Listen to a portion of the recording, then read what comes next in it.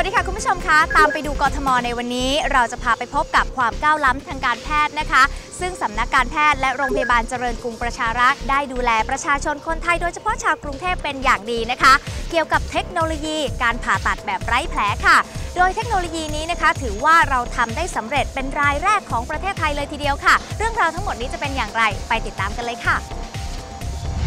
ที่โรงพยาบาลเจริญกรุงประชารักษ์โรงพยาบาลในสังกัดกรุงเทพมหานคร ประสบความสำเร็จเป็นอย่างยิ่งนะคะ ในการนำเอาเทคโนโลยีการผ่าตัดผ่านกล้องแบบไร้แผล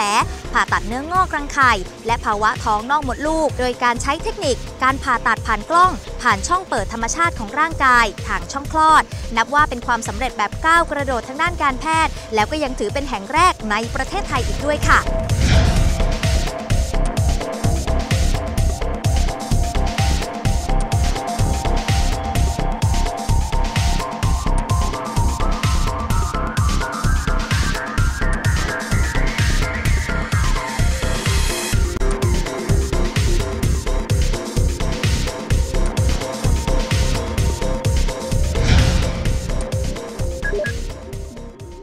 โรงพยาบาลเจริญกรุงประชารักษ์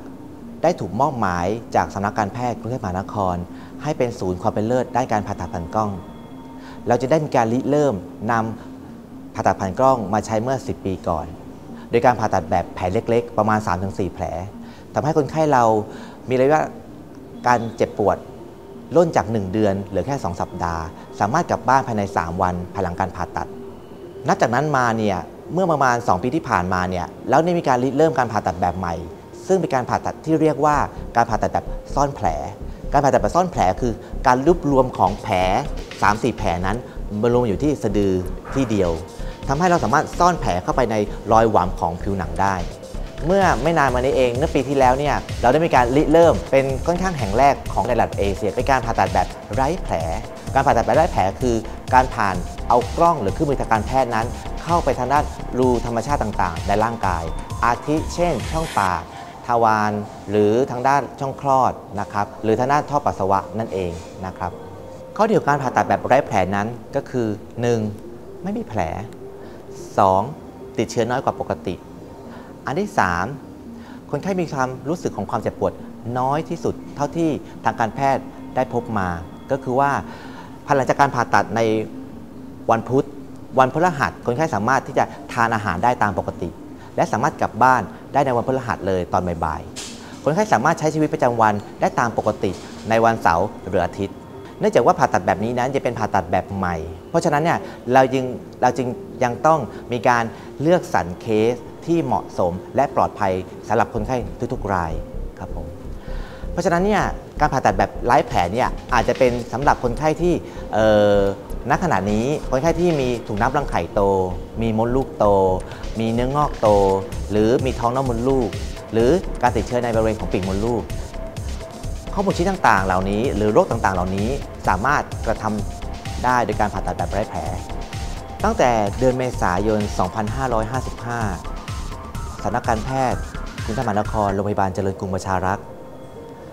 ได้เริ่มมีการผ่าตัดแบบไร้แผล ณ ถึงปัจจุบันเป็นระยะเวลาเป็นจำนวน 20 เคส ซึ่งทั้ง 20 เคสนั้น ไม่มีเคสไหนเกิดภาวะแทรกซ้อนเลย คนไข้สามารถกลับบ้านในวันรุ่งขึ้น คนไข้ทุกๆคนรู้สึกดีกับการผ่าตัดแบบนี้ โดยที่ทุกๆ ท่านแทบจะไม่ได้รับการฉีดยาแก้ปวดเลยภายหลังการผ่าตัด ทั้งหลายเหล่านี้เรามีประสบการณ์แล้วว่าการผ่าตัดแบบไร้แผลสามารถกระทำได้อย่างปลอดภัยสำหรับคนไข้ทุกๆราย ประชาชนท่านใดที่มีความประสงค์ที่อยากจะเช็คอัพร่างกาย หรือได้รับการผ่าตัดผ่านกล้อง สามารถติดต่อได้ที่โรงพยาบาลจริญกรุงประชารักษ์และได้รับการเช็คอัพร่างกายได้เลยครับ และนี่คือความก้าวล้ำทางการแพทย์นะคะ ที่สำนักการแพทย์ ร่วมกับโรงพยาบาลเจริญกรุงประชารักษ์ค่ะ จากการผ่าตัดแผลใหญ่ ๆ กลายเป็นผ่าตัดแผลเล็ก และกระทั่งปัจจุบันนี้ได้กลายเป็นการผ่าตัดแบบไร้แผลไปแล้วนะคะ ก็ต้องขอขอบคุณกรุงเทพมหานครนะคะ ที่ดูแลสุขภาพของประชาชนเป็นอย่างดีค่ะ กลับมาพบเรื่องราวที่น่าสนใจแบบนี้กันได้ใหม่ ในตามไปดูกทมครั้งหน้านะคะสำหรับวันนี้ลากันไปก่อน สวัสดีค่ะ